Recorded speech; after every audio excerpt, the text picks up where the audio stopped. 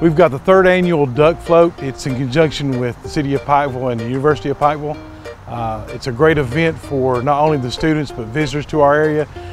It usually lasts, uh, the river part lasts about two and a half, three hours according to how the flow is on the river.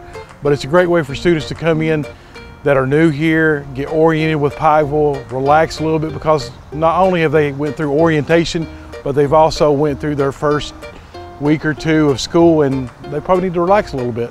It's stressful. The duck float not only stop, uh, stops here at the Texas Roadhouse Boat Dock, the scenery here is unbelievable. Uh, when they're floating down the river, they can see uh, uh the eighth wonder of the world, as we call it, the cut through project, uh, all the way up and down the river. It's just beautiful today. Beautiful weather, and uh, we're glad to have everybody here.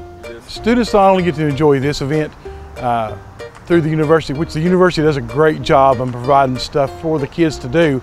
Uh, they have uh, bingo nights, movie nights, uh, great ways for the students to relax and enjoy their time here. It's a great feeling to know that uh, I work for an organization that really cares about its students, no matter if they're high school or the university.